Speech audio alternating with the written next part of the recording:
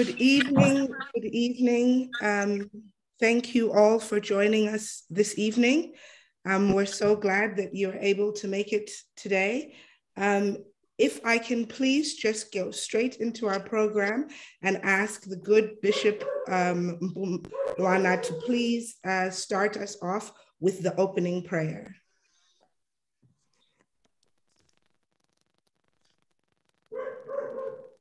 Good evening.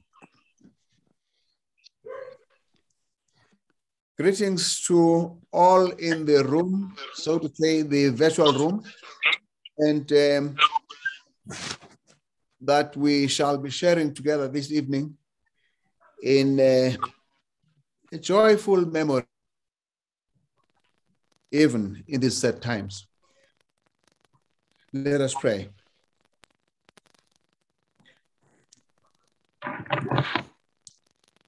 In the words of St. Hildegard of Bingen, the woman who challenges us to live our faith like Sis Lindy did.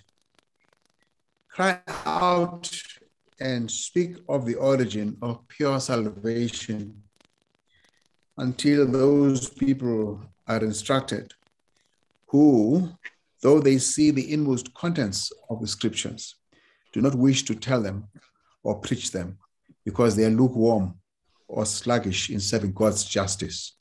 Unlock for them the enclosure of mysteries that they, timid as they are, conceal in a hidden and fruitless field. Burst forth into a fountain of abundance and overflow with mystical knowledge until they who now think you are contemptible because of Eve's transgression are stirred up by the flood of your irrigation. We pray that the burst that this woman from Bingen calls forth may indeed be the voice of Lindy Mabuza to us tonight, even as we reflect together on the great mysteries of her life presented to us in our conversations.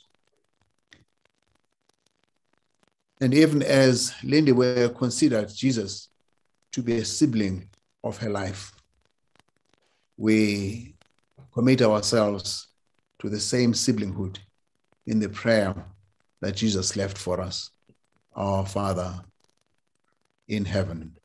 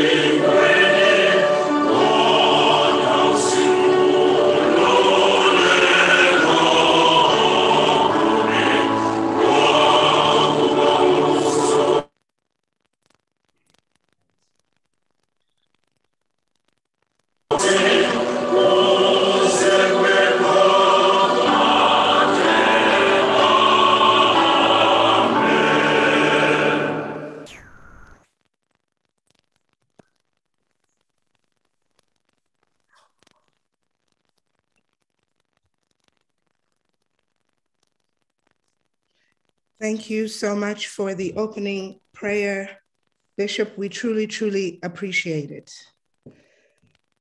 What color is love? Is it mauve or is it peachy pink? Perhaps it is red or black, like they call my skin.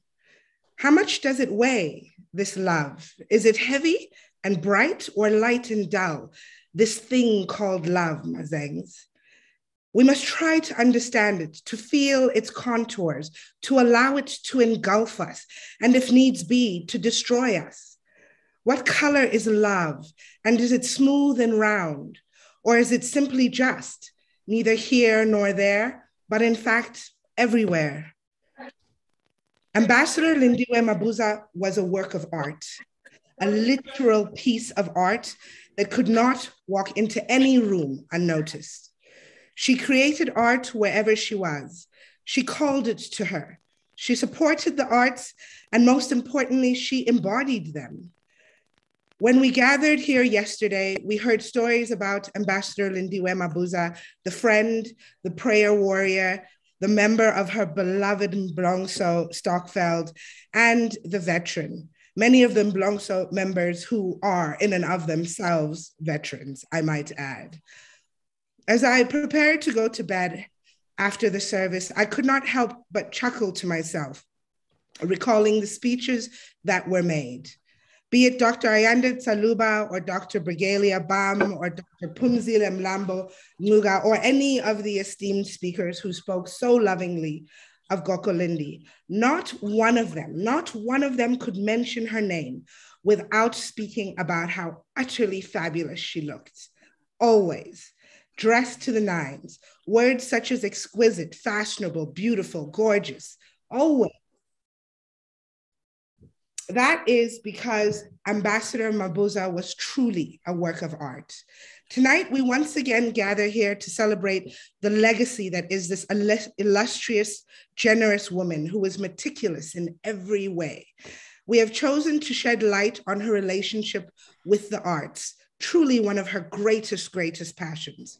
And when I say art, I really do mean it in every sense of the word fine art, sculpture, literature, dance, music, you name it. And Gokolindi loved it.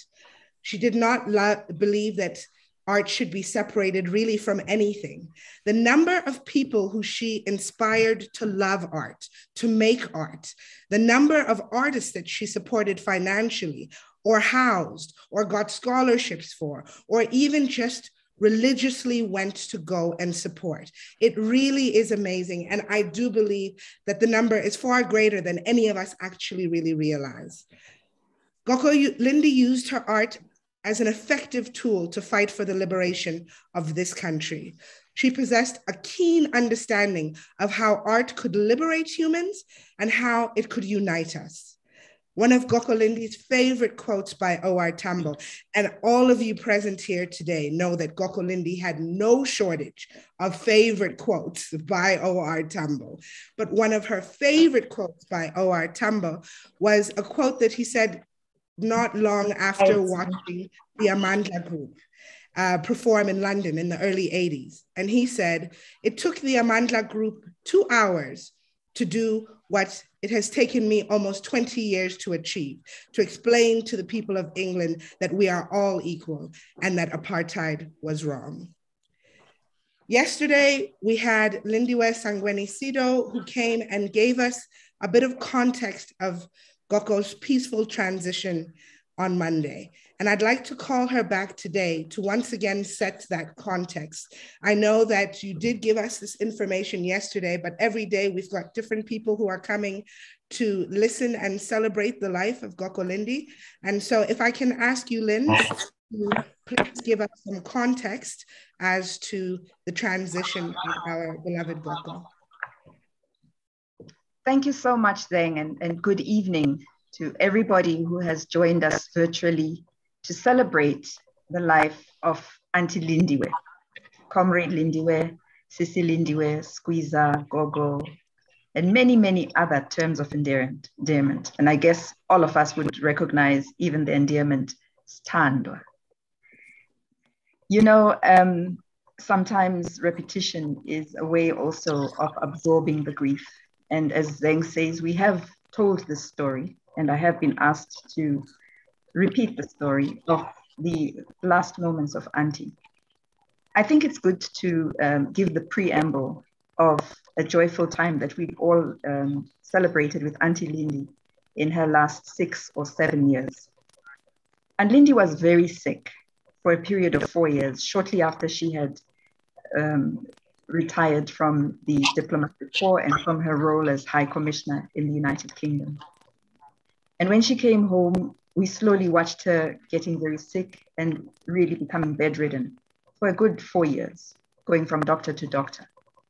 It was a miraculous turnaround brought about by a total change of life, where she decided, having met with some comrades, uh, that the way forward to a better health would be one of no meat acupuncture and a Chinese um, method of, of, of healing.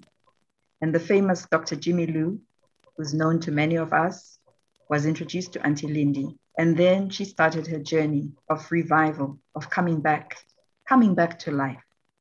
And when Aunt Lindy was able to understand what it meant to live a life of purity, as in no meat, no animal foods going through her body, she was able to even get up out of that bed, stop taking any medication, and continue purely on acupuncture and a new life.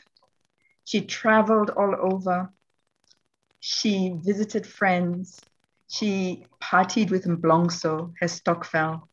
She partied with us in family.